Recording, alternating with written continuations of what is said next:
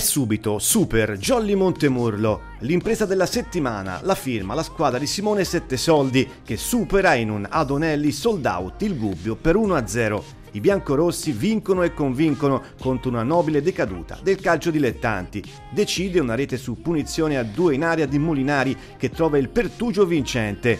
Proteste ogubine per l'episodio che ha originato la decisione arbitrale. Tocco del difensore del Gubbio, sì oppure no? Il replay per capire meglio. Il Montemurlo legittima la vittoria con le gigantesche occasioni fallite da Molinari e la super giocata di Pinzauti e una traversa ancora griffata da Molinari. Al resto ci pensa un super Biagini e un pizzico di buona sorte. Entusiasmo bianco-rosso.